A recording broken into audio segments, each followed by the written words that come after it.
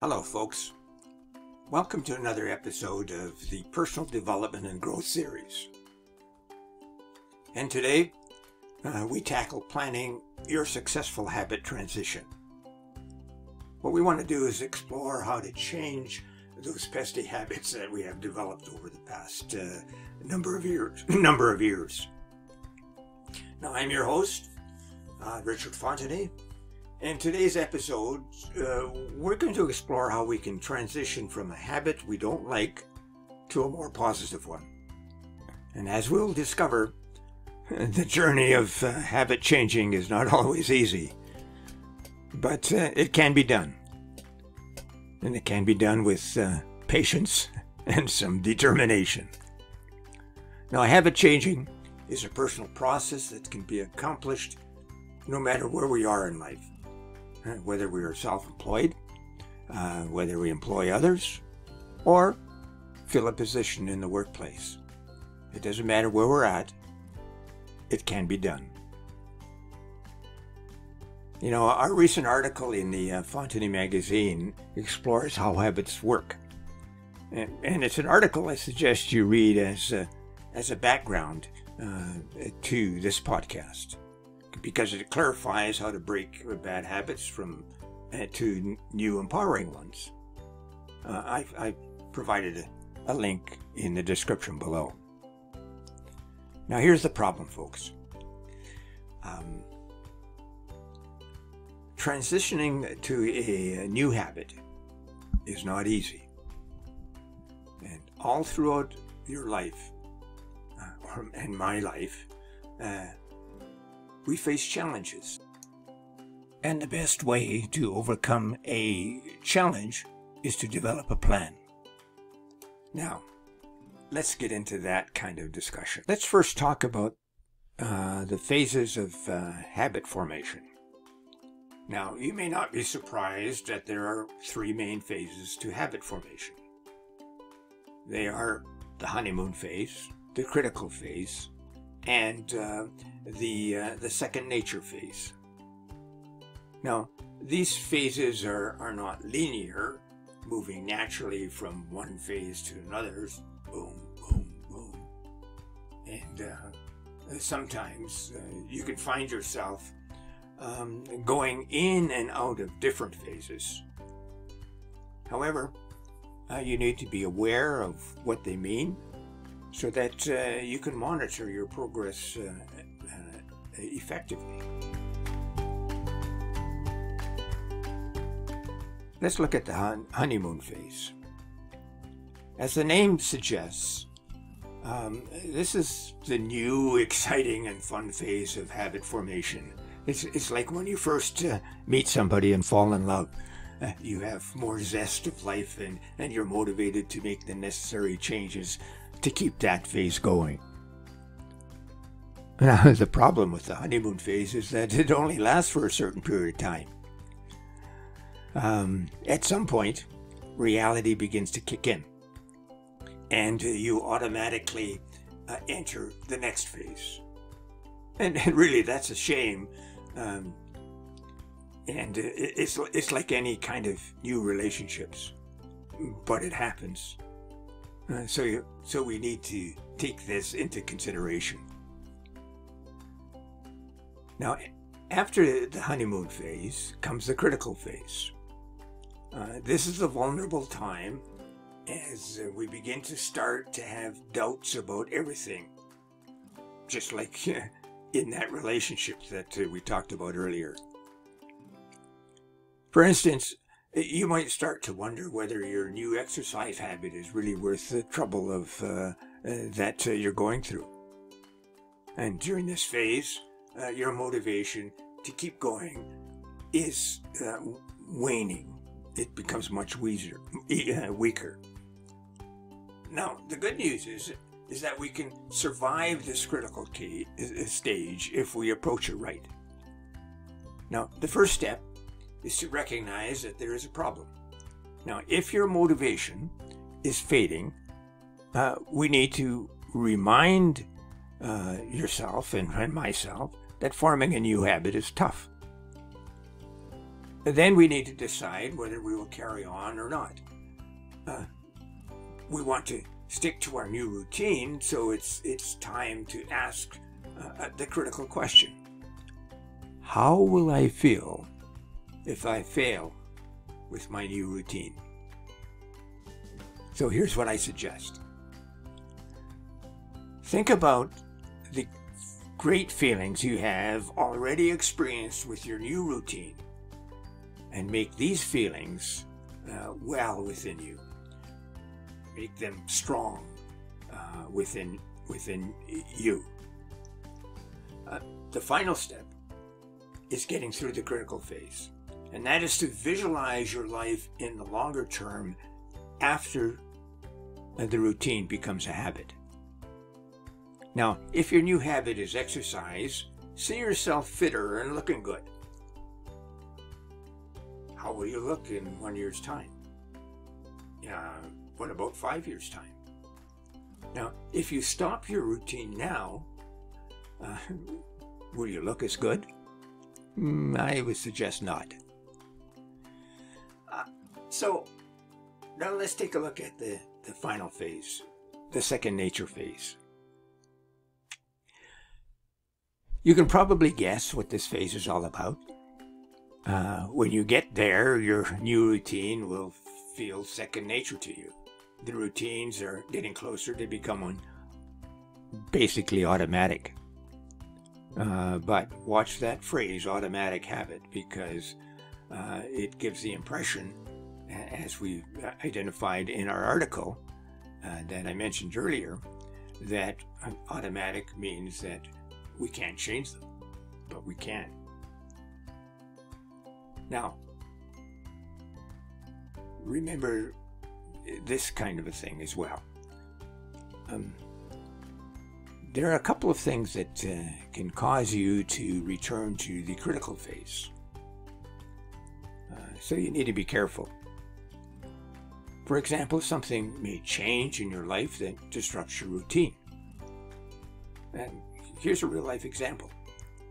Um, I uh, was in the habit of the past year of doing a YouTube short every day.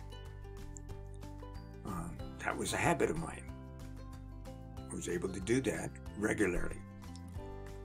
But something happened. Uh, unfortunately, my wife had an accident uh, and broke her back. Uh, that really disrupted my routine. And so I had to make a number of adjustments in order to uh, to get back on track.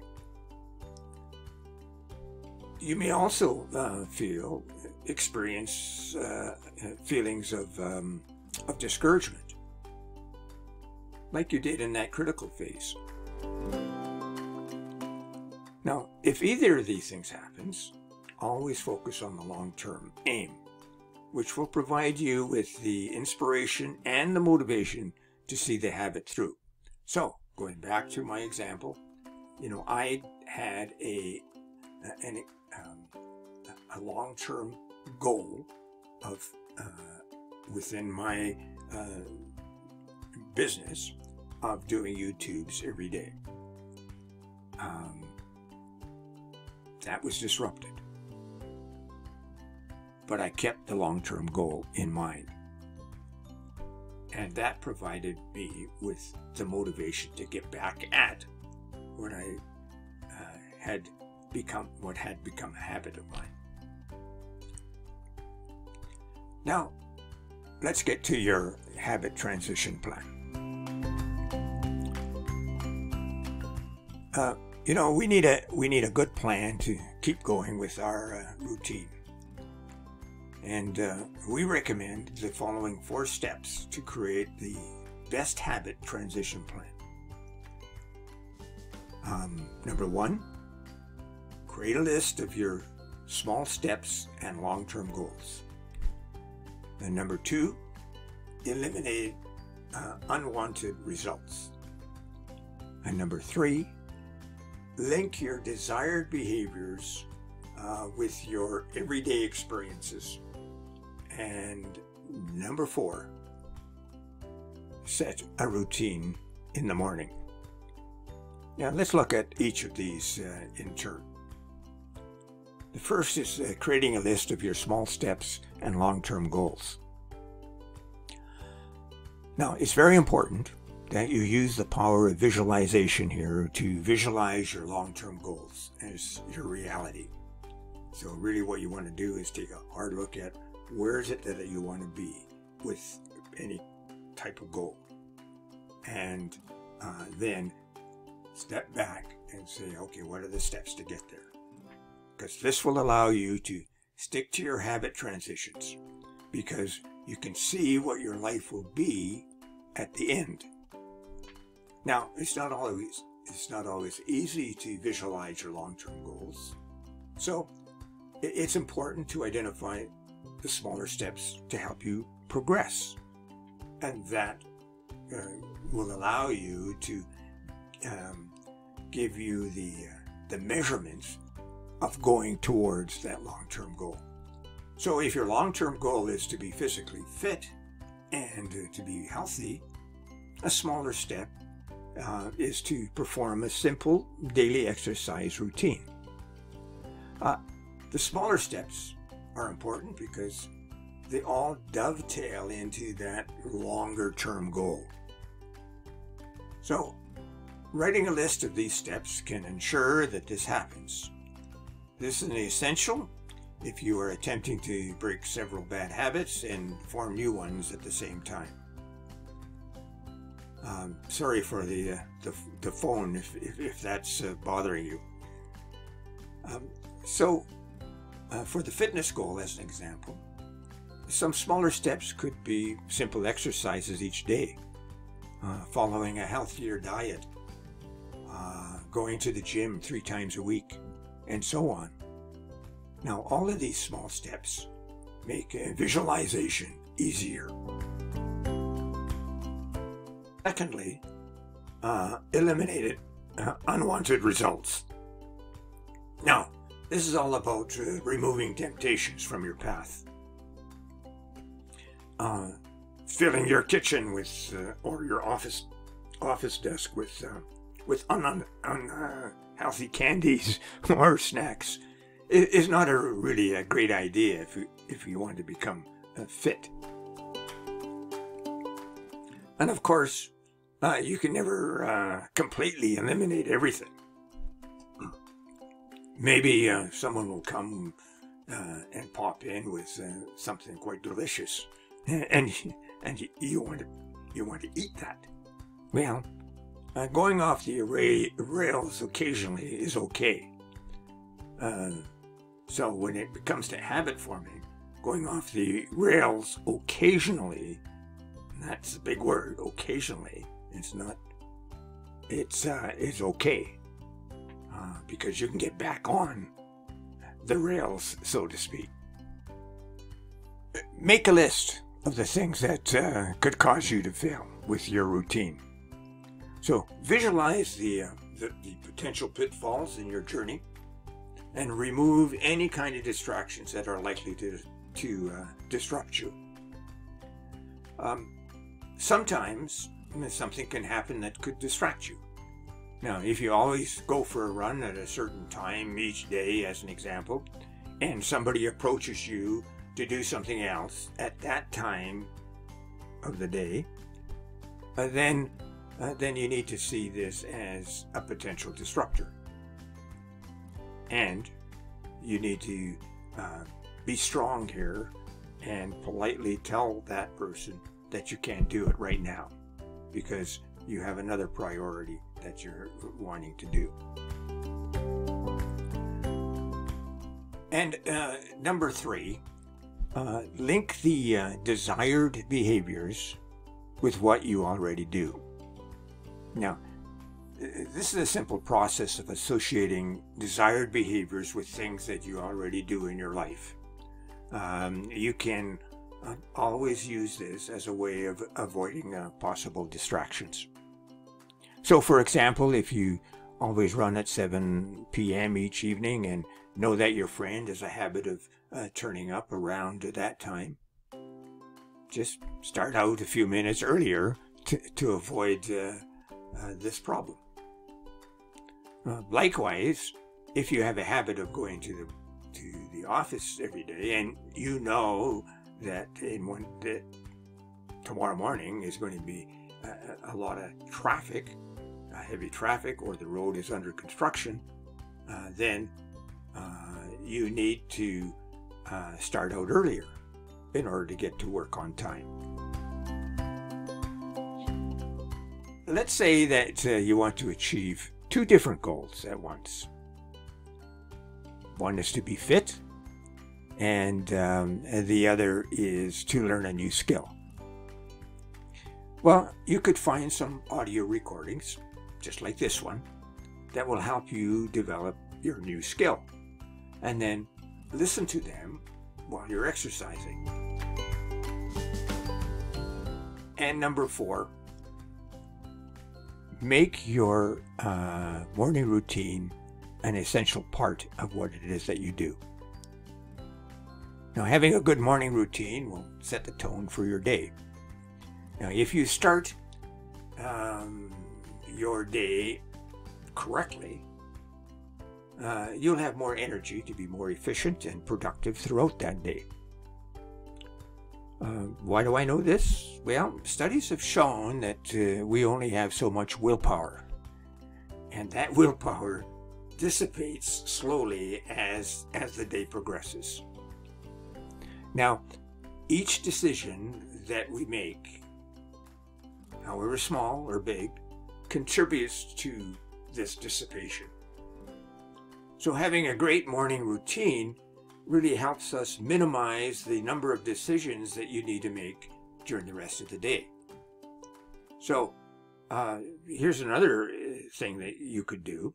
If you know what your cycle is, for instance, if you are more alert in the morning, then move what is the hard stuff that you need to do and put those in the morning so that uh, you have uh, a, a greater ability to achieve them because you know that uh, your uh, willpower will dissipate as we go out through the day.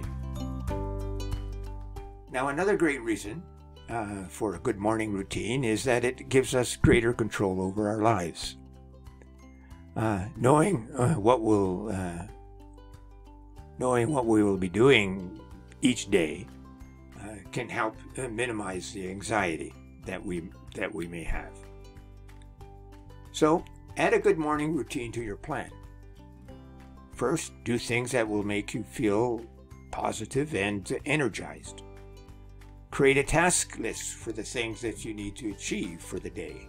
And you can do this really the night before, which also allows you to sleep better.